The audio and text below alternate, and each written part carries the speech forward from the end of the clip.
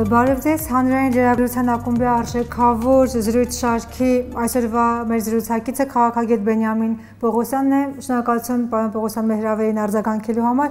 Նախ տարածված Հայաստան-Ռուսաստան միութենական պայմանագրի մասին որքանով է նման բան հնարավոր։ Նախ շնորհակալություն հրավերի համար։ Տեսեք, մենք հիմա այնպիսի ժամանական ժամանակներում ենք ապրում, որ որևէ բան բացառել չեն կարող, լինի դա դրական թե բացասական, սակայն հավանականության առումով Ես դրա հավանականությունը բարձր չեմ գնահատում, ընդ որում առաջին հերթին նաև Ռուսաստանի տեսակետից։ Իհարկե կարող է թվալ, թե սա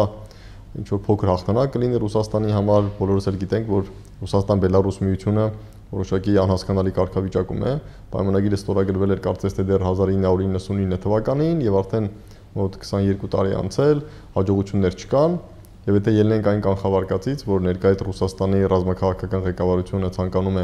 ինչ որ կերպ վերստեղծել խորհրդային միությունը, հասկանալ է նոր պայմաններում, նոր անվանումով, բայց այսպես դա կոչենք պայմանականորեն ԽՍՀՄ 2։ Ապա թերևս կարող է թվալ, որ Արցախյան պատերազմում ջախջախված Հայաստանը թերևս այն ամենաթույլ օղակն է, որին հանգիստ կարելի է հարկադրել այն ինչ ցանկանում ես։ Սակայն այստեղ մի խնդիր կա, Ռուսաստանի տեսակետից, եթե ստեղծվում է միութենական հանրապետություն, այսինքն մենք միանում ենք այդ Ռուսաստան-Բելարուս պայմանագրին կամ ինչ որ նոր պայմանագիր է կնքվում, Դա նշանակում է հավելյալ զգալի պարտավորություններ Ռուսաստանի համար։ Իսկ ես բոլորովին վստահ չեմ, որ հիմա Ռուսաստանը ցանկանում է կամ պատրաստ է Հայաստանի հանդեպ հավելյալ պարտավորություններ վերցնել, որտեվ ինչ կտա նրան այդ պարտավորությունները բացի խնդիրներից Ադրբեջանի եւ Թուրքիայի հետ հարաբերություններում։ Որտեվ տեսեք, հիմա Հայաստանը կարելի ասել անում է այն ամենը, ինչ Ռուսաստանը ցանկանում է, առանց որևէ միութենական պայմանագրի։ Իսկ եթե մենք ստորագրում ենք միութենական պայմանագիր, դա նշանակում է նաև էականորեն ավելանում են Ռուսաստանի, Հայաստանի տրվելի երաշխիքները, անվտանգային, տնտեսական եւ այլն։ Չեմ կարծում, որ դա Ռուսաստանին պետք է, մանավանդ որ հիմա Ռուսաստանը կարծես թե մի փուլում է գտնվում, գոնե հարավային Կովկասյան իր քաղաքականության մեջ, որ Ադրբեջանի հետ ռազմավարական համագործակցությունը ինտենսիվ զարգանում է, Արցախյան 2020 թվականի պատերազմում Հայաստանի ջախջախումը կարելի ասել վերացրեց այն հիմնական խոչընդոտներից մեկը, որը կար Ռուսաստան, Ադրբեջան ռազմավարական համագործակցության զարգացման,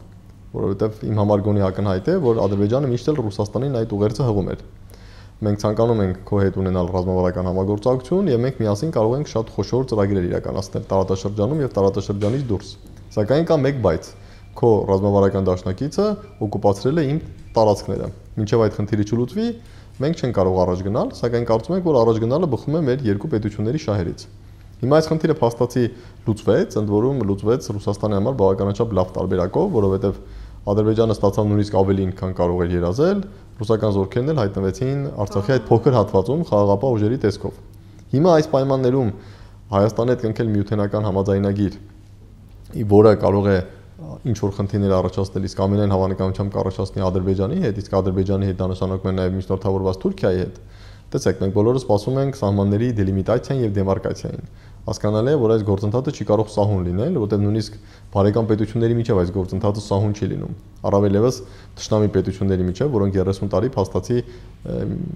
գտնվում են ոչ պատերազմ, ոչ խաղաղություն իրավիճակում։ Հետեւաբար չեմ կարծում, որ Ռուսաստանին ձեռնտու է կամ իր հարավկովկասյան քաղաքականության առումով տրամաբանական կլինի հիմա ստորագրել միութենական պայմանագիր Հայաստանի հետ։ Ինչ վերաբերում է արդյոք ձեռնտու է դա Հայաստանին,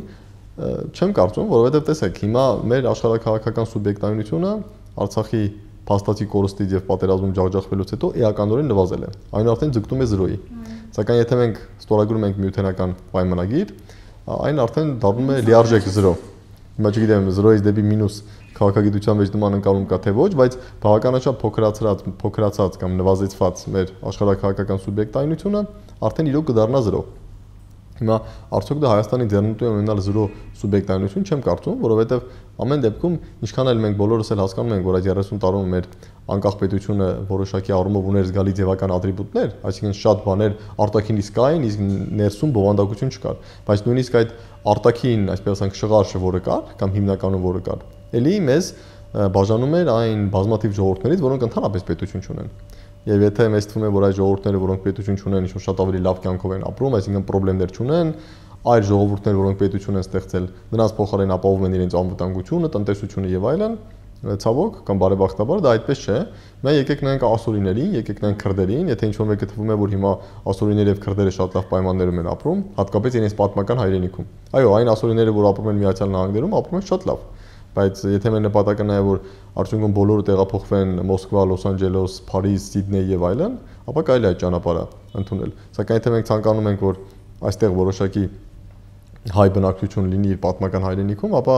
ինքնիշխանություն զրոյացնելը իսկ միութենական պայմանագրի ստորագրումը դա կլինի զրոյացում արդեն իրավական առումով, այսինքն մենք կդառնանք բացարձակ զրո, այսպես ասենք։ Դա չեմ կարծում նաև Հայաստանի շահերից է բխում։ Պարոն Պողոսյան, մայիսին երեք ուղություններով Հայաստանի տարածք ադրբեջանական զինուժի ներթափանցումը ՀԱՊԿ գլխավոր քարտուղարը օրերս սահմանային միջադեպ անվանեց։ ՀԱՊԿ-ն անվտանգության միակ է, որին անդամակցում է Հայաստանը, ի ճակակալիքներով է Հայաստանը ժամանակին անդամակցել այդ կառույցին եւ ինչ ունենք այսօր։ Տեսեք, եթե մենք գնանք դեպի պատմության խորքը, չմոռանանք, որ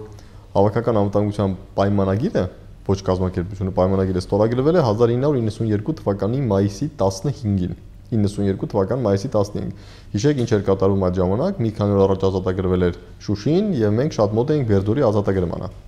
Հետեւաբար Հայաստանը այդ համաձայնագիրը ստորագրելով կարելի ասել ազդանշան էր հղում Ռուսաստանին, որ ինքը պատրաստ է տեղավորվել հետխորհրդային տարածաշրջանում որոշակի ինտեգրացիոն գործընթացներ սկսելու Ռուսաստանի քաղաքականության մեջ։ Ինձ թվում է նաև հաշվել առնված այն հանգամանքը, որ օրինակ երբ մենք 1991 թվականի մարտին հրաժարվեցինք մասնակցել խորհրդային միության պահպանման հանրակրվեից, որը ԽՄԿԿ նախագահ Գորբաչովն էր առաջ մղում, ընդհանրապես մի քանի պետություն չի մասնակցել դրան, 15-ից 9 մասնակցել են, 6-ը ոչ։ Հայաստանը այդ 6-ի մեջ էր։ Դրանի պատասխան մենք 91 թվականի ապրիլին տեսանք կորցոգործողությունը եւ 24 հայկական գյուղ հայաթափվեց։ Այսինքն եթե գնանք 92 թվականի մայիս, իհարկե այն ժամանակվա գործող անձին, մասնավորապես նախագահ Տեր-Պետրոսյանը թերևս ավելի հստակ կներկայացնի, սակայն իմ գնահատմամբ դա արվել էր հաշվի առնելով նաև 91 թվականի դասերը։ Այսինքն Հայաստանը հասկանում էր, որ չնայած Ռուսաստանը ինքը շատ թուլացած է եւ ԽՍՀՄ փլուզումից հետո թվում էր թե Ռուսաստանի ապագան է անորոշ, կային անջատողական ձգտումներ, խոսքեր գնում ընդհանրապես Ռուսաստանի փլուզման մասին, Սակայն ինձ թվում է մեր ռազմաքաղաքական ղեկավարությունը գնահատեց, որ գոնե հարավային Կովկասում Ռուսաստանի դերը լինելու է ազդեցիկ։ Հասկանալի է, որ այս գաղափարի հետևում կանգնած է Ռուսաստանը, եւ այդ համաձայնագիրը ստորագրելով ընդամենը ուղեր ցղվեց Ռուսաստանին, որ Հայաստանը մտադրություն չունի իրականացնել Ռուսաստանի հանդեպ ճշտամական քաղաքականություն։ Դա եթե գնանք 92 թվականի մայիս, երբ մենք ստորագրեցինք այդ պայմանագիրը։ Դրանից հետո արդեն երբ պատերազմը ավարտվեց, 94 թվականի մայիսին զինադադար, 95 թվականին ստորագրվեց ռազմակայանի մասին համաձայնագիրը, 97 թվականի օգոստոսին բարեկամության եւ փոխադարձ օգնության մասին մեծ պայմանագիրը, այսինքն մենք աշտանաբար սկսեցինք Ռուսաստանի հետ կառուցել այն, ինչ այժմ մենք կոչում ենք ռազմավարական դաշինք կամ դաշնակցություն։ Հետևաբար այդ համատեքստում երբ Ռուսաստանը նորից առաջ քաշեց գաղափարը, որ եկեք այս պայմանագիրը դարձնենք կազմակերպություն, ՀԱՊԿ 2002 թվականին Հայաստանը արդեն լինելով Ռուսաստանի ռազմավարական դաշնակից, ուղղակի չէր կարող չդառնալ ՀԱՊԿ-ի անդամ։ Դա ինչպես ասում են, որևէ տրամաբանության մեջ չէր տեղավորվում։ Հետեւաբար դեր հարցը ինչու Հայաստանը անդամակցեց, Հայաստանը 92 թվականին ստորագրեց այդ պայմանագիրը ազդանշան հղելով Ռուսաստանին, որ չի ցանկանում իրականացնել ճշնամական քաղաքականություն Ռուսաստանի նկատմամբ, եւ կարծում եմ, որ հաշվի առնելով Ադրբեջանի հետ ընթացող պատերազմը եւ Թուրքիայի գնալով կոշտացող ռետորաբանությունը, դա ճիշտ որոշում էր։ Իսկ արդեն 2002-ին մենք դարձանք ՀԱՊԿ-ի անդամ, որտեղ Ռուսաստանի ռազմավարական դաշնակից էինք, այստեղ կար ռուսական ռազմակայան, եւ մենք չէինք կարող դառնալ ՀԱՊԿ-ի անդամ։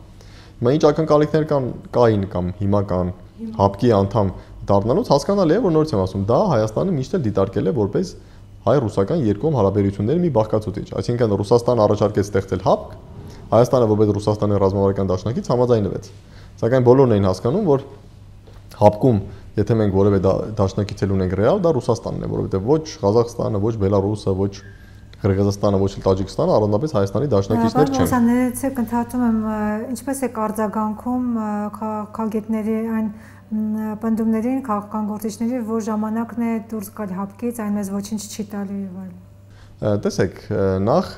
որ ասում են հապկը մեզ ոչինչ չի տալիս, գոնե մի բան տվել է հապկը, որ մենք կարողացել ենք գործարանային գնելով ռուսական զենք գնել։ Հիմա այլ հարց է ճիշտ զենք են գնվել, սխալ զենք է գնվել, չգիտեմ, պետք է ավելի շատ գնել հակաօթային պաշտպանության միջոցներ, թե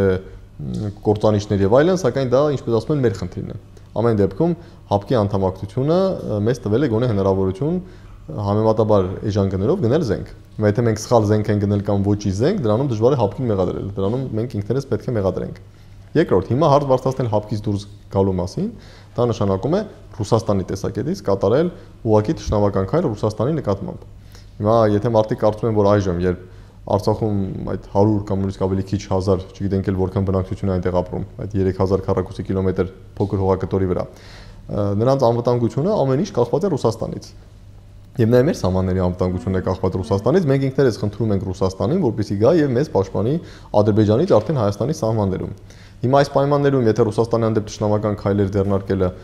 կարող է Հայաստանին օգուտ բերել, ես անկեղծ ասած որևէ օգուտ դրանում չեմ տեսնում։ Լավ, ենթադրենք մենք քայլ կատարեցինք, Ռուսաստանին ուղերձեցինք, որ մենք քո ճշնամին ենք եւ սկսեցինք հապկից դուրս գալու գործընթաց։ Եվ դրանից ինչ։ Այսինքն ինչ է լինելու այդ դեպքում։ Պայմանավորում են նրանով հիմնավորումները, որ այսպեսով այսպես նոր դռներ են բացվում դեպի Եվրոպա, Արևմուտք, այսինքն համագործակցությունը արևմտյան եվրոպական երկրների հետ արդեն ավելի ակտիվ կլինի եւ գործնական եւ կարծես թե խանգարում է այդ ռազմական դաշնակցությանը հապկում գտնվելը։ Տեսեք, նախ եկեք մի բան ֆիքսենք, Հայաստանը այն սակավ պետություններից էր, Ռուսաստանի դաշնակից, որը արևմուտքի հետ ի վիճակի եղավ զարգացնել սերտ գործակցություն։ Բոլորի համար գաղտնիք չէ, որ թերևս ամենառուսամետ քաղաքական գործիչ Հայաստանում դա երկրորդ նախագահ Ռոբերտ Քոչարյանն էր։ Սակայն հենց նրա օրոք 2005 թվականին Հայաստանը ՆԱՏՕ-ի հետ ստորագրեց անհատական գործընկերության գործողությունների ծրագիրը, առաջին ծրագիրը։ Դա ամեն 3-4 տարի մեկ ստորագրվում է եւ դա որակական թռիչք էր Հայաստան-ՆԱՏՕ հարաբերություններում։ 2008 թվականից սկսած մեր ամբողջ ռազմական կրթության համակարգը վերափոխվել է ՆԱՏՕ-ի ակտիվ աջակցությամբ այսինքն Վազգեն Սարգսյան ռազմական համալսարանում հրամանատարաշտաբային ֆակուլտետի ստեղծումը, կրթական ծրագրերը եւ այլն։ Ամեն ինչ իրականացվել է ՆԱՏՕ-ի ակտիվ ներգրավվածությամբ։ Պաշտպանության ռազմավարական վերանայում Strategic Defense Review արվել է արևմուտքի հետ սերտ համագործակցությամբ, բազմաթիվ արևմտյան փորձագետներ տարեկան մի քանի անգամ այցելել են Հայաստան, հանդիպել են պաշտպանության նախարարության ղեկավարության հետ։ Եթե վերցնենք ենք Եվրամիության հետ հարաբերությունները, Հայաստանը 2009-ին անդամակցել է Արևելյան գործընկերության ծրագրին, Ճիշտ է, կարելի ասել մեզ հարկադրեցին չստորագրել ասոցիացման համաձայնագիրը, Սակայն դրա փոխարեն մենք ի վիճակի եղանք 2017 թվականի նոյեմբերին ստորագրել խոր եւ համապարփակ համագործակցության պայմանագիրը։ Այսինքն ասել, որ Հայաստանը արևմուտքի հետ հարաբերություններ չունի եւ դրա պատճառը նաեւ որ մենք անդամակցել ենք ՀԱՊԿ-ին, դա նշանակում է փաստերի ոչ հստակ շարադրանք, որտեղ նորից եմ ասում Հայաստանը արևմուտքի հետ ունի բավականաչափ սերտ համագործակցություն։ Կարող են այդ համագործակցությունը լինել ավելի սերտ։ Հիմա եթե ՆԱՏՕ-ի մասին ենք խոսում, Մենք գիտենք, որ Վրաստանը դեռ 1999 թվականին, երբ նախագահ Շևարդնաձեն էր, հայտարարեց, որ ինքը ընտրում է Եվրոատլանտյան ինտեգրման ուղին եւ ինքը ցանկանում է դառնալ ՆԱՏՕ-ի անդամ։ Շեշտում եմ 22 տարի առաջ։ Հիմա 22 տարի անցել է եւ Վրաստանը ՆԱՏՕ-ի անդամ չէ։ Հասկանալի է, հիմա Վրաստանը ՆԱՏՕ-ի հետ ավելի սերտ համագործակցություն ունի, քան Հայաստանն է, որտեղ կա, ասենք, Վրաստան-ՆԱՏՕ խորհրդաժողով, հետո 2014 թվականին Ուելսի ՆԱՏՕ-ի Ուելսյան գագաթնաժողովում հատուկ փաթեթ ընդունեց Վրաստանի աջակցության։ Սակայն փաստը մնում է փաստ, երբ մարդիկ ասում են դուրս գանք հապկից, որպիսի ճանապարհներ բացվեն դեպի ՆԱՏՕ-ի անդամակցության, Վրաստանը 22 տարի է ձգտում է ՆԱՏՕ-ի անդամակցության, եւ թե վրացիները եւ թե արևմտյան փորձագետները եւ նաեւ քաղաքական կամ պետական անձինք հստակ ասում են, որ առաջիկա 15 տարում Վրաստանը ՆԱՏՕ-ի անդամ չի դառնա։ Հիմա 22-ին գումարենք 15, ստացվում է 37։ Հետեւաբար եթե մարդիկ մտածում են, որ երբ ենք հայտարենք հապկից դուրս գալու մասին, երկու տարի հետո մենք կդառնանք ՆԱՏՕ-ի անդամ, դա իրականությունից բացարձակ կտրված երևույթ է։ Այո, կարող է մենք մոտավորապես 25-30 տարի հետո դառնանք ՆԱՏՕ-ի անդամ, ասենք 2050 թվականին, բայց նախ ոչ ոք չգիտի թե ինչ իրենից կներկայացնի ՆԱՏՕ-ն 2050 թվականին եւ երկրորդ ինչ կլինենք մենք։ Օրինակի համար այդ 2050 թվականին կլինի Արցախում որևէ հայ, թե Արցախը կդառնա Նախիջևան, թե գուցե Նեֆտյունիկը կդառնա Նախիջևան։ Հետեւաբար իհարկե նման հայտարարություններ անելը որոշակի այսպես ասենք, հետաքրքիր է եւ մարդկանց ուշադրությունն է գրավում, այո, հապկից դուրս գանք, դառնանք ՆԱՏՕ-ի անդամ, դառնանք Եվրամիության անդամ, չգիտեմ, մոտենանք եվրոպական ստանդարտներին, չափանիշների, ոչ ոք դրան դեմ չէ, օրինակ ոչ ոք չի ուզում, որ օրինակ մեր մոտ գոնե կյանքի մակարդակը լինի այնպեսին, ինչպեսին Ռումինիայում է, որի դեպ Եվրամիության ամենաաղքատ պետություններից է, սակայն միջին աշխատավարձը դրամով արտահայտված մոտ 600.000 դրամ է։ Ով է դրան դեմ, ոչ ոք։ Սակայն նորից եմ ասում, այնպես չի երբ մենք եթե մենք հիմա հապկից դուրս գանք կամ հայտարարենք, որ հապկից դուրս են գալիս կամ ԵԱՏՄ-ից դուրս են գալիս, 1 կամ 2 տարի հետո մենք դառնալու ենք Եվրամիության անդամ։ Առավելագույնը ինչպես կարող են առաջարկել ԵԱՏՄ-ից դուրս գալու դեպքում։ Դա վերաբանակցել ասոցիացման համաձայնագիրը եւ ստորագրել ասոցիացման համաձայնագիր։ Հիմա Ուկրաինան, Վրաստանը, Մոլդովան արդեն 7 տարի ստորագրել են ասոցիացման համաձայնագիր եւ ունեն խորը եւ համապարփակ ազատ առևտրի գոտի Եվրամիության հետ։ Կտրեմ գնացեք Վրաստան, գնացեք Մոլդովա եւ տեսեք ինչպիսի տնտեսական վիճակ է այնտեղ, արդյոք կամ թեկուզ գնացեք Ուկրաինա եւ տեսեք նույն Եվրամիության հետ այդ ասոցիացիան համաձայնագրի ստորագրումից հետո որքան է նվազել կոռուպցիայի մակարդակը Ուկրաինայում, չէ՞ որ բոլորը ասում են, որ առաջին հերթին եվրոպական պետությունների հետ համագործակցությունը դա բերելու է պետության մոդեռնիզացիայի, այդ թվում նաև կոռուպցիայի դեմ պայքար, արդար դատական համակարգ եւ այլն։ Հավատացում եմ դες, հիմա Ուկրաինայում կա ավելի շատ կոռուպցիա, քան 2014 թվականին։ Չնայած 7 տարի Ուկրաինան Եվրամիության հետ ունի ասոցիացիան համաձայնագիր։ Այսինքն շատ բաներ գալիս է Հայաստանի ներսից։ Եթե մենք Հայաստանում որևէ բան չենք անում, ապա ֆորմալ հապկից դուրս գալ, հայտարարել Եվրամիության հետ անդամակցության մեր ցանկության մասին։ Այսինքն մեխանիկական գործողությունների շատ է դառնում։ Կամ թեկուզ ասոցիացիան համաձայնագիր ստորագրելով այնպես չի որ միանգամից այստեղ էական ամեն ինչ փոխվելու այսինքն այն բոլոր խնդիրները, որոնք Հայաստանում կան եւ որոնք իրոք կան։ Ադրբեջանի կառավարության հրավերով հուլիսի 10-ին Շուշի այցելած 46 պետության դեսպանների կազմում չէ Միացյալ Նահանգների, Ֆրանսիայի եւ Ռուսաստանի դեսպաններին, չեք կարծում սա ԵՀԿ Մինսկի խմբի համանախագահող երկրների միասնական որոշում է թե երկրների առանձին որոշումներ են, որոնք համընկան եւ ինչ ուղերձներ ունեն Դժվար եմ ասել դա նախորդ քննարկված որոշում էր թե չէ, որտեղ ուղղակի տեղեկույթ չունեմ, Սակայն մի բան հստակ է, բոլորս գիտենք, որ Մինսկի խումբը պատերազմի ավարտից հետո մի քանի անգամ հայտարարություններով հանդես եկավ, ամենածավալունը թերևս ապրիլի 13-ին 2021 թվականի, որտեղ նշվում էր, որ հակամարտությունը լուծված չէ, որ հակամարտության լուծման համար պետք է վերսկսել բանակցություններ ԵԱԿ Մինսկի խմբի շրջանակներում, եւ որ հակամարտությունը պետք է լուծվի բոլորին հայտնի արդեն մշակված սկզբունքների վրա։ Խոսքը այդ մադրիդյան 3 սկզբունք եւ 6 տարի մասին է երեք սկզբունքներ, դա տարածքային ամբողջականություն, ինքնորոշման իրավունք, ուժի կամ ուժի կիրառումից հրաժարում։ Իդեպ սկզբում, որը Ադրբեջանը կոպտորեն 2020 թվականի սեպտեմբերի 28-ից խախտեց, 6 տարերը կարծում եմ նույնպես բոլորին հայտնի են միջանկյալ կարգավիճակ, տարածքների վերադարձ, պարտադիր իրավական ուժ ունեցող հանրակրվե կամ Ղարաբաղի կարգավիճակի որոշում պարտադիր իրավական ուժ ունեցող կամ արտահայտության միջոցով։ Հիմա քանի որ ԵԱԿ Մինսկի խմբի համանախագահները հայտարարում են, որ հակամարտությունը լուծված չէ, իսկ հակամարտության լուծումը պետք է հենվի մադրիդյան սկզբունքների վրա, իսկ հիշեմ, որ մադրիդյան սկզբունքներում կամ այդ 6 տարերում, երբ նշվում է Լեռնային Ղարաբաղ, խոսքը գնում է Լեռնային Ղարաբաղ 88 թվականի սահմաններով։ Այսինքն այդ թվում նաև Հադրութի շրջան ամբողջությամբ, Շուշի քաղաք, որոշ գյուղեր Ասկերանի, Մարտունու եւ նաև Թալիշ մատաղից, որոնք հիմա Ադրբեջանի վերահսկողության տակ են։ Ուստի պարզ է, որ նման հայտարարություններից հետո դժվար թե դեսպանները իրենց թույլ տային գնալ այնտեղ։ Սակայն ես, ինչպես ասում են, այստեղ այդտենց առանձնապես չի ուրախանա մեր համար, որովհետև տեսեք, իրականում եթե նայում ենք, այո, Մինսկի խմբի համանախագահները հայտարարում են, որ հակամարտությունը լուծված չէ եւ այն պետք է շարունակի լուծվել Մադրիդյան 3 սկզբունքների եւ 6 տարերի հիման վրա։ Սակայն որևէ մեկը Արցախի անկախությունը չի ճանաչել, այսինքն իրենց տեսակետից ամբողջ Արցախը, նույնիսկ այն տարածքը, որտեղ հիմա ռուսական խաղաղապանների վերահսկողության ներքո է, շարունակում է մնալ Ադրբեջանի մաս։ Եվ ամենակարևորը իմ համար, բոլորս գիտենք, որ բազմիցս քննարկվում էր մինչև 20 թվականի պատերազմը, ինչու Հայաստանը չի ճանաչում Արցախի անկախությունը։ Եվ հասկանալի է, մենք չենք ճանաչում, որտեղ մեզ հորդորում էին չճանաչել նույն Մինսկի խմբի համանախագահները, ասելով, որ բանակցային գործընթացի հիմքում դա կարգավիճակի հարցն է։ Եթե դուք ճանաչում եք անկախությունը, հետեւաբար բանակցային գործընթացը դառնում է անիմաստ, դուք դրանով կփլուզեք բանակցային գործընթացը եւ ճանապարհ կբացեք պատերազմի համար։ Եվ մեր դիրքորոշումը միշտ բոլոր կառավարությունների օրոք այդպեսին էր, որ այո, մենք չենք ճանաչում Արցախի անկախությունը այնքան ժամանակ, քանի դեռ Ադրբեջանը չի սկսել լայնածավալ պատերազմ եւ փաստացի չի հրաժարվել բանակցային գործընթացից։ Սակայն Ադրբեջանը սեպտեմբերի 27-ին սկսեց լայնածավալ պատերազմ եւ պատերազմի 44 օրերի ընթացքում մենք Արցախի անկախությունը չճանաչեցինք։ Ավելին, հիմա պատերազմից ավարտից արդեն անցել է 7-7.5 ամիս, Եվ մենք եւս Արցախի անկախությունը չենք ճանաչում, նույնիսկ Հայաստանը Սահմաններով կարող է Հայաստանը ճանաչել Արցախի անկախությունը եւ դուք կարծում եք, որ պետք է այդ քայլը անի հիմա։ Տեսեք, հիմա վիճակը այսպեսին է, եթե մենք որևէ բան չենք անում, իսկ Հայաստանը նույնիսկ խորհրդարանի մակարդակով անգամ հայտարարություն չի ընդունել, ասենք Արցախի հանրապետության օկուպացված տարածքների մասին։ Այսինքն մեր տեսակետից ստացվում է, որ Արցախ անկախ պետություն չէ, այն տարածքներ, որ Ադրբեջանը գրավել է, դրանք էլ օկուպացված չեն։ Մենք դրա մասին չենք հայտարարում։ Լավ, հիմա եթե մեր համար Արցախը անկախ չէ, այդ Ադրբեջանի գրաված տարածքներն էլ օկուպացված չեն, ապա այստեղի ցանկացած ռացիոնալ մարդ կանի մեկ հետևություն, որ անուղակի Հայաստանը նույնպես ճանաչում է Արցախը որպես Ադրբեջանի մաս։ Եվ հավատացնում եմ դες, եթե հիմա մենք սկսենք բողոքի նոտաներ հղել այն պետություններին, որոնց դեսպանները գնացել են Շուշի, մեզ հստակ կասեն, կասեն ով է ստորագրել նոյեմբերի 10-ի հայտարարությունը, որով Շուշին անցավ Ադրբեջանին։ Հայաստանի Հանրապետության ղեկավարը այո, ով է բազմիցս հայտարարել, որ ինքը պատրաստվում է մինչև վերջ իրականացնել նոյեմբերի 10-ի հայտարարության բոլոր կետերը։ Նույնպես Հայաստանի ղեկավարը.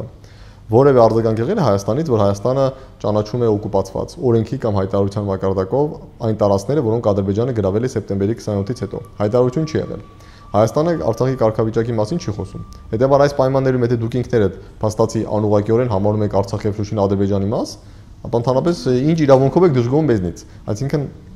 մենք հիմա մի վիճակում ենք, որ ինքներս մեր առաջ մեր համար պետք է հստակեցնենք։ Եթե մենք նույնպես հաշտվել ենք, որ այո Արցախը Ադրբեջանի մաս է, եւ մեր միակ խնդիրը նա է, որ հնարավորինս երկար Ադրբեջանի մաս հանդիսացող Արցախում մնան ռուս խաղապահներ, որpիսի այնտեղ ապրող հայերին չմորթեն, դա մեկ տարբերակ։ Իմ ընդունելի թե ընդունելի չէ, բայց ես դա կհասկանայի։ սակայն դրա մասին չի հայտարարվում պաշտոնապես, սակայն որևէ ուղղությամբ էլ այլ քայլ չի արվում։ Այսինքն անուղակիորեն Հայաստանի վարկագիծը սկսած նոյեմբերի 10-ից վկայում է մի բանի մասին, որ անուղակիորեն մենք համարում ենք, որ Արցախը Ադրբեջանը եւ վերջ։ Պարոն Պողոսյան, ձեզ համար հասկանալի է ինչ է ուզում Հայաստանը, ինչ դիրքորոշում ունի պաշտոնական Երևանը։ Իմ համար հասկանալի չէ, որտեղ պաշտոնական Երևանը ասում է, որ մեր համար ամենակարևորը մնում է Արցախի կարգավիճակի հարցը, բայց բացարձակապես հասկանալի չէ դա ինչ է նշանակում։ Այսինքն, օքեյ, մեր համար կարևոր է մնում, հիմա նման հայտարարություններ կարելի է 10 տարի շարունակ ասել, որ մեր համար կարևոր է, սпасել, որ կամ ռուս խաղապահները Ռուսաստան, Ադրբեջան, Թուրքիա ինչ որ համաձայնությունների արդյունքում այնտեղից դուրս գան, կամ հայրը աշնանաբար Արցախից գնան, այնտեղ մնա մի 20000 մարդ, հետո մի 10 տարի լասել Արցախի կարգավիճակի հարցը մեր համար կարևոր է, հետո սահուն Արցախը կդառնա Նախիջևան, տեսեք, հիմա Հայաստանի կառավարությունը կարող հայտարարել է, որ մեր համար կարևոր է Նախիջևանի հարցը։ Հիշում եք անցյալ տարի, երբ Սևրի պայմանագրի 90-ամյակներ հայտարարություն արվեց, չէ, որ դա պատմական փաստ է, մեր համար կարևոր է եւ այլն, սակայն իրական կյանքում դա ոչինչ չի փոխում։ Հիմա մեր համար կարևոր է Սևրի պայմանագիրը, օքեյ, սակայն դրան ոչ ոք լուրջ չի վերաբերում, էլ, այսինքն մեր համար կարևոր է 150 000 կիլոմետր Թուրքիայի տարածքում, ով ենք մենք, որ մեր համար դա կարևոր լինի։ Հիմա նորից եմ ասում, եթե մենք ոչինչ չենք անում, մենք պարզապես կհասնենք նրան, որ շատ կարճ ժամանակահատվածում, կարճ նկատի ունեմ պատմական կոնտեքստում, չեմ ասում ամիսների կամ տարիների ընթացքում Սկզբում Արցախը կդառնա Նախիջևան, իսկ որոշ ժամանակ անց կդառնա Վան, չգիտեմ, Կար, Սերզուրում, ինչ որ երկեր եւ այլն եւ բոլոր հայերը Հայաստանում եւ Հայաստանից դուրս կսկսեն դժգոհել իրենց վիճակից։ Հիմա այստեղ պետք է որոշում ընդունել, բայց գոնե եթե որոշումն ընդունված է, պետք է հայտարարել։ Եթե մենք գտնում ենք, որ Արցախը փրկելու շանս չկա, որ մենք այն անվերադարձ կորցրել ենք, Հետևաբար պետք չէ ինքնախապեյությամբ զբաղվել, այդ արցախցիներին ասել դուք մնացեք այնտեղ, ինչ որ սփյուռքի բարերարի ասել եկեք գումարներ ներդրեք, պետք է, պետք է, պետք է։ Եթե գտնում ենք, որ Արցախը կորցրել ենք, ավելի լավ է այդ սփյուռքի բարերարին ասենք հարգելիներս, այդ գումարները ներդրեք, չգիտեմ, Հայաստանում մի քանի 30000-ով փոքր քաղաք կառուցեք, նորմալ ենթակառուցվածքներով, այդ 90000 մարդուն էլ բերենք Հայաստան։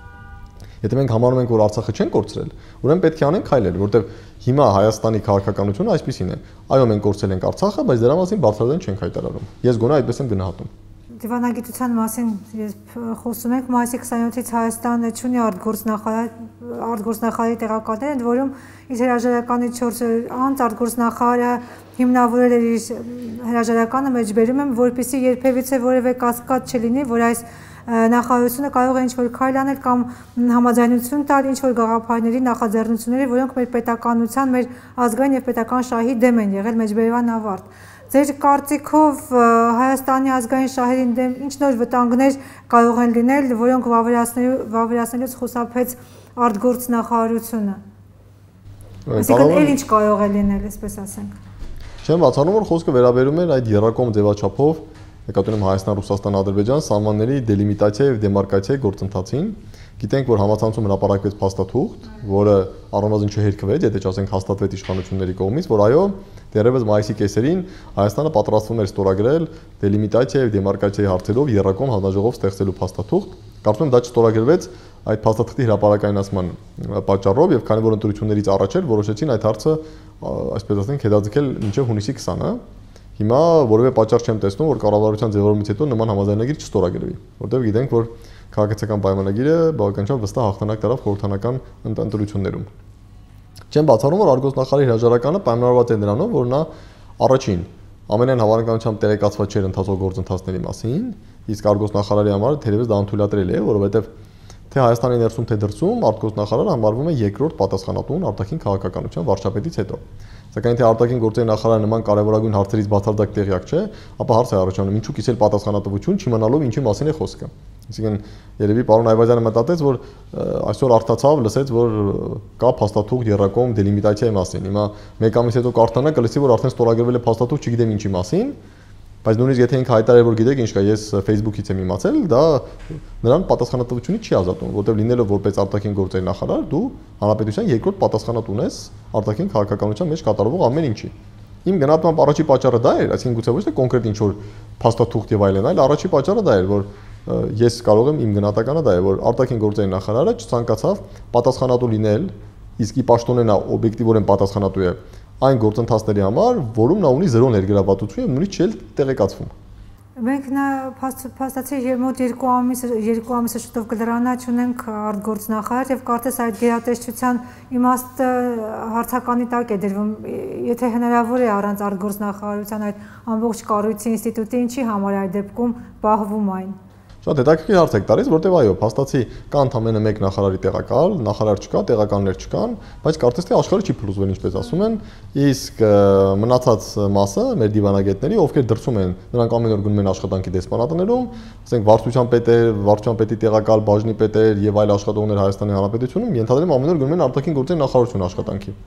ստանում են իրենց աշխատավարձը եւ կատարում են դե հասկանալի է որ կա այսպես ասենք ռուտինային աշխատանք դրսում մարդիկ պետք է ինչ-որ միջոցառումների մասնակցեն եւ այլն հյուպատոսական ծառայություններ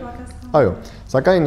չկա ռազմավարություն չկա տեսլական ցավոք սրտի կարելի ասել որ հիմա մենք մի վիճակ ենք ականատես որ արտաքին գործերի նախարարությունը վերածվում է ստանդարտ ինչ-որ թղթաբանական գործողություններ կատարելու ինչ-որ մի կառույցի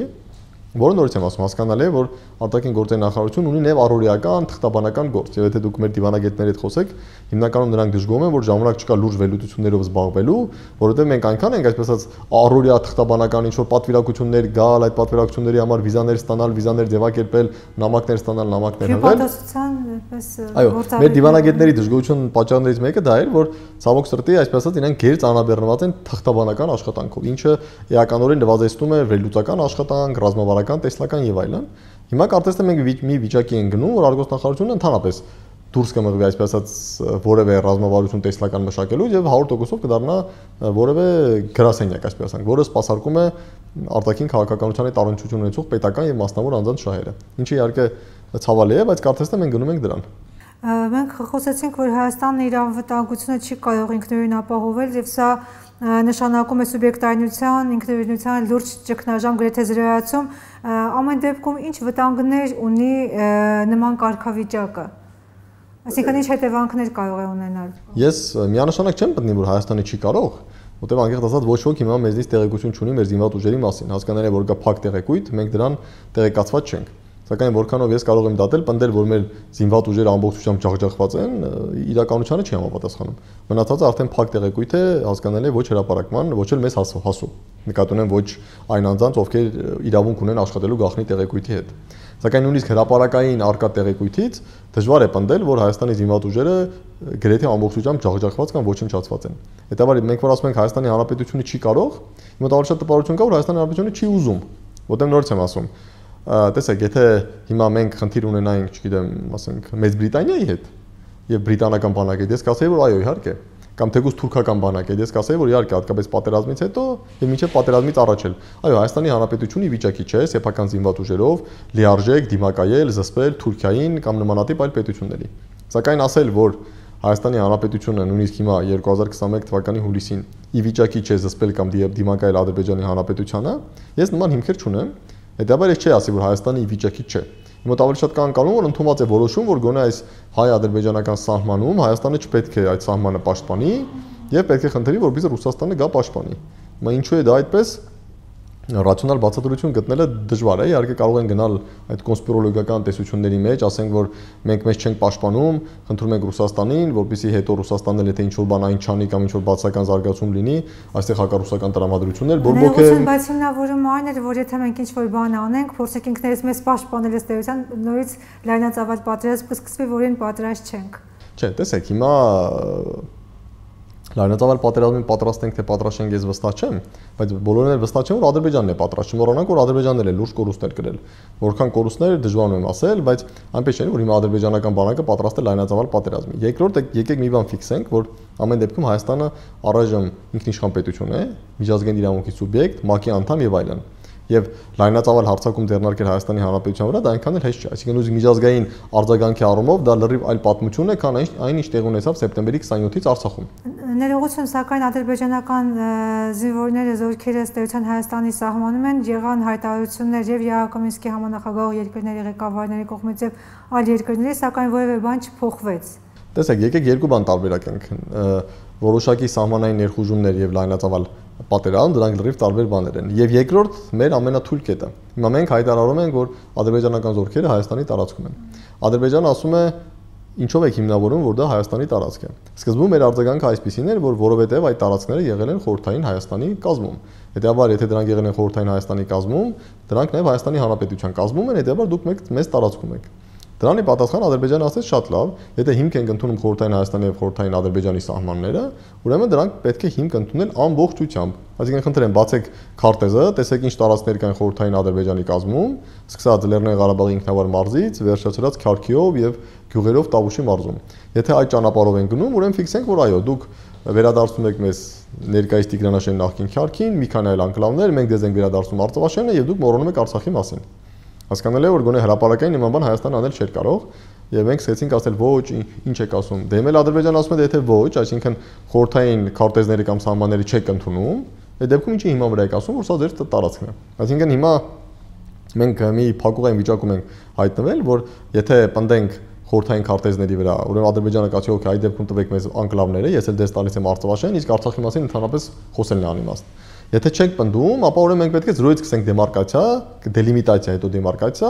սակայն դա պահանջում է գործընթաց, քարտեզներ եւ այլն։ Տեսեք, ադրբեջանական դիմոնները կարող էին մտնել այդ տարածք, հանդիպել դիմադրության, դիմադրությունը կոտրել առաջ գնալ։ Սակայն դա դրսում լրիվ այլ անկանում կունենար։ Որպես օրինակ բերեմ, երբ 1990 թվականին Իրաքը ներխուժեց Քուվեյթ Իրաքը շատ մեծ էր, Քուվեյթը սարսափելի փոքր պետություն, եւ Քուվեյթը դիմադրեց ընդամենը մի քանի ժամ, բայց Քուվեյթը դիմադրեց։ Եվ դրսում մարդիկ ասացին, այո, հասկանալի է, որ Քուվեյթը, չգիտեմ, 6 ժամից ավել չէր կարող Իրաքին դիմադրել, բայց Քուվեյթը դիմադրել է։ Հիմա մենք որևէ կրակոտ չենք արձակել եւ ասում ենք, որ սա մեր տարածքն է։ Ու նորից հարց է. Առաջանում, եթե մենք հողում ենք կատարում քարտեզներին, ապա Ադրբեջանը ասում է եկեք խորհրդային քարտեզների հիմք ընդունենք ամբողջությամբ։ Եթե մենք հողում չենք անում քարտեզներին, այսինքն նույնիսկ բնազդային մակարդակում մեզ հարց են տալիս, որ վերջնաշուտ յուրաքանչյուր ոք ունի ինքնապաշտպան ինքնապահպանման բնազդ։ Եթե դուք իրոք համարում եք դա ձեր տարածքը, կարևոր չի ինչի հիման վրա։ Գուցե միջազգային իրավունքի տեսակետի ձերն էլ չի, բայց ինչու չեք պաշտպանում։ Եթե դուք չեք փորձել նույնիսկ պաշտպանել, ապա ձեր պնդումները փորձած ձեր տարածքն են, մեղմ ասած հիմնավոր չեն։ Եվ օրինակ դրան որևէ ռացիոնալ պատասխան տալ ես գոնե չունեմ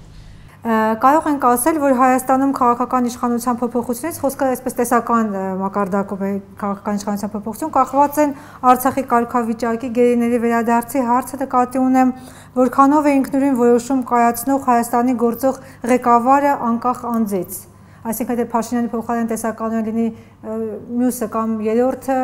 ինչ կփոխվի Հայաստանում։ Տեսեք, հասկանալի է, որ մանևրելու կամ ճկունության դաշտը շատ մեծ չէ, Սակայն եւ պնդել, որ ամեն ինչ որոշված է եւ գնալ ֆատալիզմի գիր կա, ասել դե Աստված այսպես էր կանխորոշել, հետեւաբար հանգիստ նստենք տեղներից, դե սպասենք, որ մի 15 տարուց Արցախը դառնա Նախիջևան, անկախ նրանից ղեկավարի ազգանունը Փաշինյան է, Պողոսյան, թե չգիտեմ որևէ այլ բան, ես էլ դրան համաձայն չեմ։ Այն, որ առաջիկա առնվազն 10 տարում Հայաստանի Հանրապետությունը ունի ռեալ հնարավորություններ ստեղծված տարածքային ստատուս քվոն, այսինքն նկատի ունեմ նոր ձևավորված, այսպես կոչվենք շփանգից կամ նոր սահման փոխելու, նորից եմ ասում, առաջիկա 10 տարում Հայաստանը ունի որևէ հնարավորություն փոխելու ձևավորված նոր ստատուս քվոն։ Հայաստանը չի ունենա եւ չունի հնարավորություն դա անել ռազմական ճանապարհով, իսկ բոլորս ենք հասկանում, որ Ադրբեջանը բանակցային ճանապարհով նույնիսկ 1 սանտիմետր չի վերադարձնելու այն տարածքներից, որ գրավել է։ Շեշտում եմ նույնիսկ 1 սանտիմետր, ոչ թե հեկտար, քառակուսի կիլոմետր եւ այլն։ Հիմա դա փաստ է, սակայն դա չի նշանակում, որ 2030-35 թվականից հետո, այսինքն այսպես պետք է շարունակվի մինչև 21-րդ դարի ավարտը։ Դեպաբար Հայաստանը պետք է որոշում կայացնի եւ այստեղ արդեն գալիս է որոշում կայացնող անձինց։ Նորից եմ ասում, կա երկու տարբերակ։ Տարբերակ համար 1։ Ֆիքսում ենք, որ Արցախը մենք կորցրել ենք, այն հնարավոր չէ պահպանել, նա դառնալու է Նախիջևան, իսկ 22-րդ դարում արդեն, չգիտեմ, Վան, Կարին եւ այլն, եւ քայլեր ենք դեռնարկում, որովհետեւ այդ 90000 մարդուն իզուտեղը չտանջենք, հերթական անգամ մի 10 տարի հետո չստիպենք իրենց եփական տները այրել, իրենց գերեզմանները քանդել, դիակներին հետ բերել Հայաստան։ Եվ հայության միջոցներով այդ մարդկանց տեղափոխում ենք Հայաստան, չգիտեմ,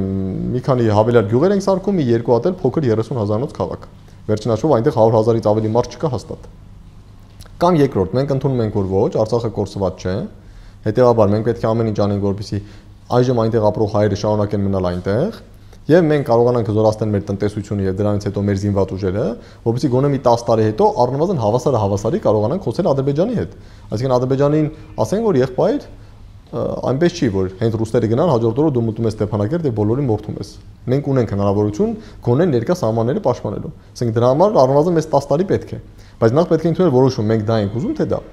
Իսկ որոշում ընդունողները վերջին հաշվով ինչքան էլ ասենք որ ժողովուրդն է որոշում, իշխանությունը պատկանում է ժողովրդին, վերջնաժամ որոշում ընդունողները դրանք այն մարդիկ են, ովքեր ունեն լիազորություններ։ Ձեր պատկերացումներով ոչ տարբերակի կողմնակիցն է գործող իշխանությունը ես կոմունագիզ բառը չի օգտագործի, որովհետև հրաապարակային հայտարարություններ չկան, կամ եթե կանել, այո, Արցախի կարգավիճակը մեր համար կարևոր է, հարցը լուծված չէ եւ այլն, սակայն իմ գնահատմամբ գործողությունները տանում են Արցախի նախիջևանացման։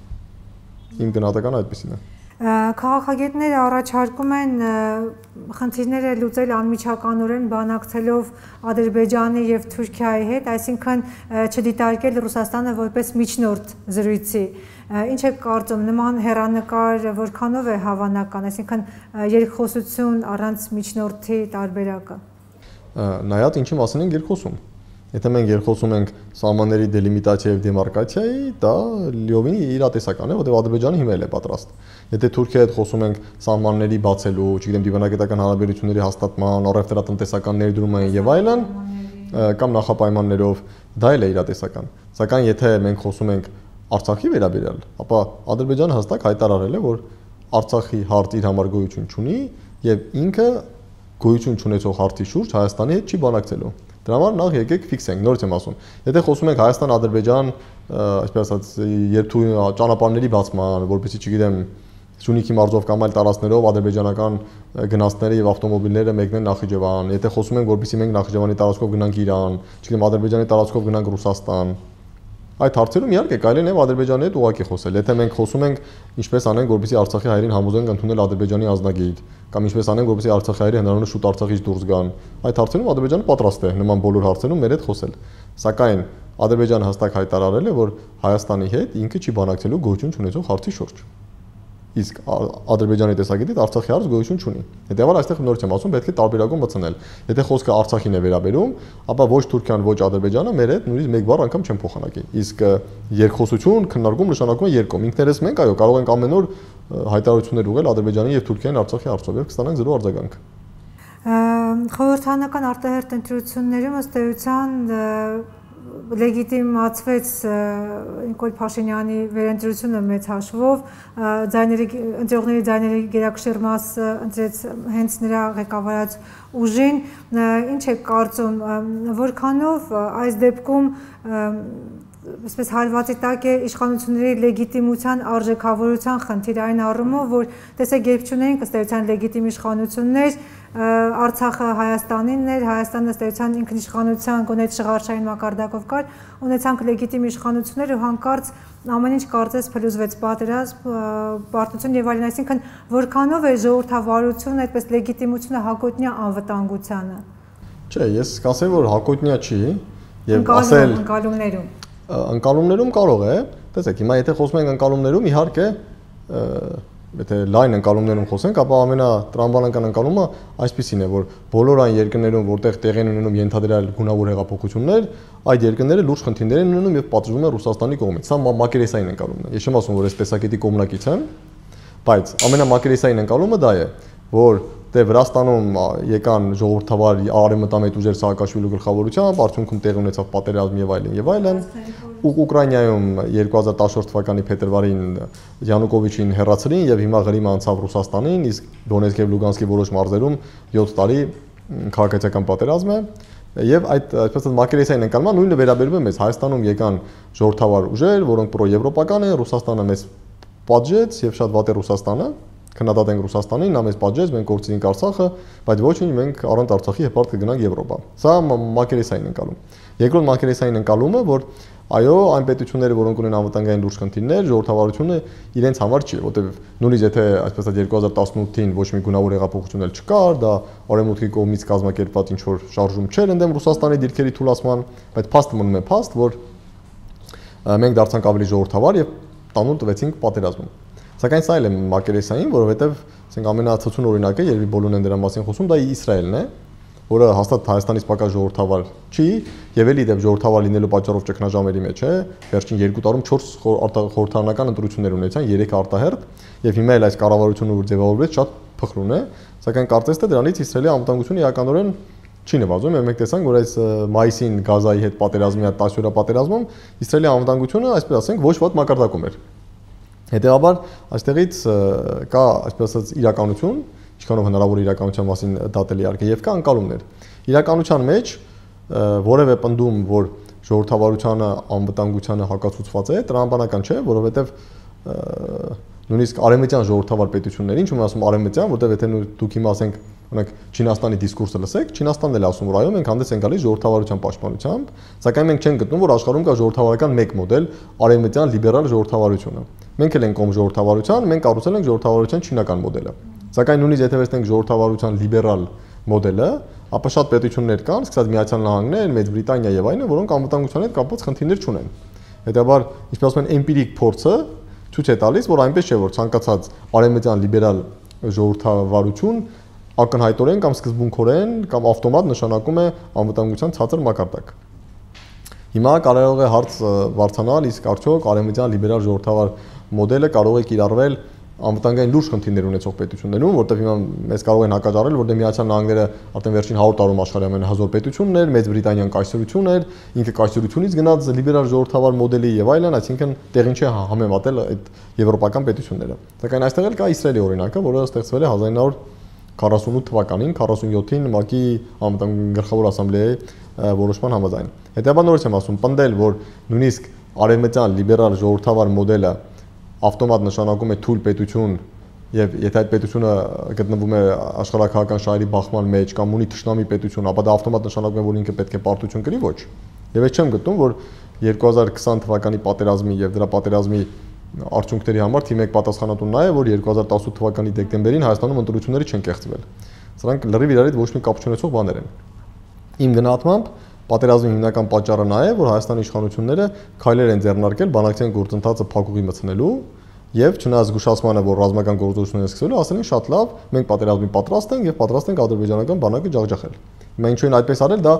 լրիվ այլ հարց է, սակայն դա որևէ կապ չունի 2018 թվականի դեկտեմբերի ընտրությունների հետ, այսինքն եթե 2018-ի դեկտեմբերի ընտրությունները կեղծվեին, սակայն իշխող ուժունին քաղաքականությունը վարել, մենք էլի ունենալու ենք պատերազմ։ Հետեւաբար, ոնց եմ ասում, ասել որ արևմտյան լիբերալ ժողովրդավար մոդելը ավտոմատ նշանակում է անվտանգության համակարգի փլուզում, պատերազմում պարտություն, սխալ արտաքին քաղաքականություն եւ այլն ոչ։ Այսինքն այն որ Հայաստանը կոպիտ արտաքին քաղաքական սխալները թույլ տվել 2020 թվականին, այստեղ 2018 թվականի դեկտեմբերի ընտրությունների արդար կամ ոչ արդար լինելու այսպես ասած ազդեցությունը գրեթե զրոյական է։ Ինչ ապագա եք տեսնում Հայաստանի համար։ Բոլորս վախենում ենք պետականությունը կորցնելուց եւ դա չափազանց հիմնավոր մտավախություն է։ Դուք էլ ձեր խոսքում այդպես որպես օրինակներ բերում եք Արցախի Նախիջևանացումը եւ այլն եւ ես սպասում եմ որ դուք թեկուզ որպես այդպես տեսական դատողություն կարող եք այսպես ավելի լավատեսական եզրակացություն այլ Արցախի համար կամ Սյունիքի կամ Հայաստանի եւ իրատեսորեն չարեցիք, չգիտեմ, ամեն դեպքում ինչ ռեսուրսով է հնարավոր խուսափել պետականության կորստից։ Նախ ցավոք սրտի ես համաձայն չեմ, որ բոլորը վախենում են պետականության կորստից։ Ինձ թվում է բնակչության մի զգալի հատված կա, որ ընդհանրապես գոնե պետականության կորստից չի վախենում։ Ասենք հաստատ վախենում է էլեկտրաէներգիայի գազի ցակագների բարձրացումից, աշխատավարձերի նվազումից, չգիտեմ, ավտո տրանսպորտի թանկացումից, բայց ոչ պետականության կորստից։ Հիմա ինձ թվում է, եթե հիմա ինչ-ինչ զարգացումների արդյունքում, ասենք այդ միութենական պայմանագիրը ստորագրվի եւ Հայաստանը դառնա ինչ-որ միութենական պետության մաս, ինձ թվում է հիմա տոկոսները չեմ կարող ասել, որտեղ թվեր չունեմ, բայց զուտ իմ ներքին գնահատում եւ ինտուիցիան հիշում եմ, որ բնակության առնվազն կեսի համար դա ոչ մի փոփոխություն չի բերի։ Մարդիկ իրենց առօրյա կյանքով կապրեն, կգնան աշխատանքի, կգան տուն, կստանան իրենց աշխատավարձը, կդժգոհեն ցածր աշխատավարձից, թանկ գներից եւ այլն։ Ես ներողություն եմ խնդրում։ Գիտեք, ինչու եմ հիմա օրինակը բերելու, այսինքն դա ոչ թե նոր խնդիր է, ժամանակին եւի տասնամյակներ առաջ կարծեմ, եթե չեմ սխալվում, էլի խնդիր կար Հայաստան-Բելարուս միության անդամակցելու եւ մեր մտավորականների զգալի մասը հենց այդ նախաձեռնող խմբի անդամ էր, այսինքն դա ըստ էության այդ զգացողությունը, որ ասում եք պետականության եւ այլն, այսպես լոկալ պայմանավորված չէ հիմա պատերազմից հետո, կարծես թե դա այսպես մեզ ուղեկցող վիճակ է։ Համաձայն եմ, եթե չեմ սխալվում, նույնիսկ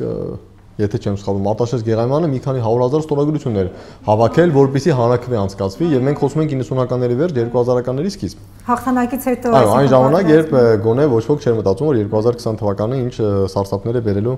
մեր համար։ Հետեւաբար նախ եկեք դա ֆիքսենք, որ բնակչության մի զգալի հատված, զգալի չեմ ասում 50%-ից ավելին, բայց դեպի զգալի։ Իր համար անկախ պետականություն լինել չլինելը, այսպես ասած, մի քիչ հարաբերական բան է։ Գուցե դրա պատճառը նա է, որ ինչպես ես նշեցի, մեր պետականությունը հիմնականում ցավոք սրտի ավելի շատ շղարշային է, քան բովանդակային, այսինքն ատրիբուտներ կային, բովանդակություն չկար, Եվ դա նաև բերել է նրանց, որ մարդկանց մեծ մասի համար մնացել է զուտ ատրիբուտներից, ատրիբուտների կորստից, եթե բովանդակությունը չի կորում, մարդիկ ցավ չեն զգում։ Սա իրականություն է, լավ թե վատ, գուցե պետք է փոխել, սակայն այդ փոխելը շատ բարդ գործընթացի հետ է կապված, կրթական ծրագրեր եւ այլն, որոնք տասնամյակներ կտևեն, բայց պարզապես եկեք ֆիքսենք, որ 2021 թվականին հայ հասարակության մի զգալի հատվածի համար, անկախ տոկոսներից, պետական անկախ պետականության դե յուրե կորուստը, եթե համարենք դե ֆակտո, որ այն ինքնին որոշակի առումով շղարշային կամ ատրիբուտային էր, բայց գոնե դե յուրե կար, իմ գնահատմամբ դե յուրե կորուստը մի զգալի հատվածի համար առանձնապես ցավ չէ առաջացնի մարդիկ Դուք նման եզրակացության եք եկել ընտրությունների արդյունքներից դատելով թե այլ այդպես բազային նյութերից Ես կասեի եւ ընտրությունների արդյունքներից բայց այստեղ խնդիրը ընտրությունների արդյունքներն էլ չեն ընդհանրապես եթե հիմա նայում ենք մարդկանց ընկալումները որտեվ տեսեք հիմա փաստացի Հայաստանը Արցախի մաս էր դե ֆակտո եւ ուներ 11500 քառակուսի կիլոմետր Հայաստանն էլ մոտ 30000 է 30000-ին գումարում ենք 11500, ստանում ենք 41500 քառակուսի կիլոմետր։ Մենք կորցրել ենք 8500 քառակուսի կիլոմետր։ Այսինքն, ասում առանց մաթեմատիկայի պրոֆեսոր լինելու հասկանալի որ բավականաչափ մեծ տարածք, մոտավորապես 20%, մի փոքր ավելի, քան 20%-ը։ Սակայն օրինակ ես Երևանում եմ բնակվում թե պատերազմի ժամանակ, թե պատերազմից հետո, Սակայն այն բոլոր իմ շրջապատը ում հետ շփվում եմ, իսկ ես բնականաբար չեմ շփվում այն ինչ-որ փորձագետներ հետ։ Հասկանալի է բոլորս ունենք ընկերական, բարեկամական, հարազատական միջավայր, որտեղ կան տարբեր մարդիկ, տարբեր զբաղմունքների, տարբեր կրթական ցենզի, տարբեր ընկալումների եւ այլն։ Սակայն շատ քիչ մարդկանց մոտ է, որ ես զգում եմ ռեալ ցավ, որ մենք կորցրել ենք մեր հայրենիքի 20 կամ 22%-ը։ Այդ ընկալումը շատերի մոտ չկա։ Այսինքն կա ցավ, որ այո, երիտասարդներ զոհվեցին եւ այլն, Իդեպ դա հետաքրքիր է։ Իհարկե բոլորի համար դա սարսափել է 4-ից 5000 զոհերը։ Սակայն եթե կա ցավ, ցավ կա այդ զոհերի հետ կապված։ Այսինքն շատերի մոտ ասում են դե եթե այսպես պետք է լիներ, այդ տարածքները տայինք զոհերը չլինեն, այսինքն տարածքների կորուստի կամ հողի հայրենիքի կորուստի ընկալումը, այդքան չկա։ Եթե կա այլ ցավ, դա վերաբերում է զուտ մարդկային կորուստին։ Դա զուտի մասնական դիտարկումներից, այսինքն այստեղ խնդիրը ոչ միայն ընտրությունների արդյունքներն են։ Հիմա անկախ դրանից ինչ է սպասում Հայաստանում։ Տեսեք, առաջիկա 10 տարում առանձնապես էական փոփոխություններ աշխարհակահաղական դժվար թե լինեն։ Նորից եմ ասում, զուտ Ռուսաստանի տեսակետից չեմ կարծում, որ Ռուսաստանին ձեռնտու կլինի Հայաստանը մտցնել միութենական կամ պայմանագիր ստորագրել միութենական հարաբերությունները սերտացնել եւ այլն։ Առաջում կարծես թե Ռուսաստանը իրավիճակով բավարարված է։ Մենք էլ նորից եմ ասում, նույնիսկ ամենաճիշտ քաղաքականության դեպքում առաջիկա 10 տարում 20 թվականի նոյեմբերի 10-ին ձևավորված ստատուս քվոն փոխելու վիճակի չենք։ 10 տարին ես ասում եմ նվազագույնը, գուցե 10-15 տարի։ Հետևաբար այստեղ մնում է երկու տարբերակ, կամ առաջիկա 10-15 տարում մենք քայլեր կանենք, որպիսի հնարավորինս արցախցիները Արցախում մնան եւ ռուսներն էլ մնան եւ մյուս կողմից կփորձենք զարգացնել մեր տնտեսությունը եւ մեր ռազմական ներուժը, որպեսզի այն բանը երբ ռուսները հեռանան, իսկ ինչպես ասում են, այս արևիտակ ոչինչ հավերժ չէ։ Մենք կարողանանք գոնե այն հատվածը պաշտպանել Ադրբեջանից կամ գոնե Ադրբեջանը հասկանա, որ իրեն, այսպես ասենք, չի սպասում երկրորդ Սևլիչ, որ պարզապես Բոսնելով կմտնեն Ստեփանագերդ եւ հարցը կավարտվի։ Դրա համար պետք է զարգացնել տնտեսությունը եւ նաեւ ռազմական ներուժը։ Դա այսպես ասած մի ուղղությունն է, մի տարբերակն է, բայց նորից եմ ասում, սահմանային կամ տարածքային արտերով փոփոխություններ չեն լինի։ Գուցե դելիմիտացիայի դեմոկրատիայի արդյունքով, չգիտեմ, մենք Արցախաշեն ստանանք անկլավներ տանք, դա դժվարանում եմ ասել, հասկանալի է որ քննարկումներ գնում են, բայց դրանք փակ քննարկումներ են, տեղեկույթ չկա։ Բայց այսպես ասած դա հազարավոր քառակուսի կիլոմետրերի կորուստ չի լինի ամեն դեպքում։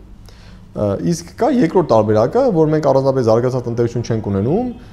իդ 10-15 տարի հետո Արցախը վերջնականապես հայաթափվում է եւ Հայաստանը այսպես ասած եթե ժամանակին եւ ես դեռ ուսանող եմ, այսպեսի ընկալում կա, չէ՞, ասում են կան որակյալ պետություններ եւ կան պետություններ, ասենք Չ կլասի։ Հիմա ցավոք սրտի 20 թվականից հետո եթե մենք այբուբենով ասենք, մենք Չ-ից էլ ահագին իջել ենք ներքև։ Այսինքն հիմա երկու տարբերակ ունենք։ Կամ գոնե փորձենք հետ գալ Չ-ին,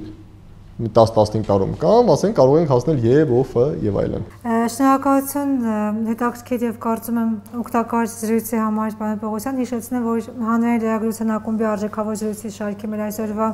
զրուցակիցը քաղաքագետ Բենյամին Պողոսյանն էր եւս մեկ անգամ շնորհակալություն հուսանք որ Այբուբենի վերջին 3 տարերը եւ ով չենք արտասանի տեղի կունենային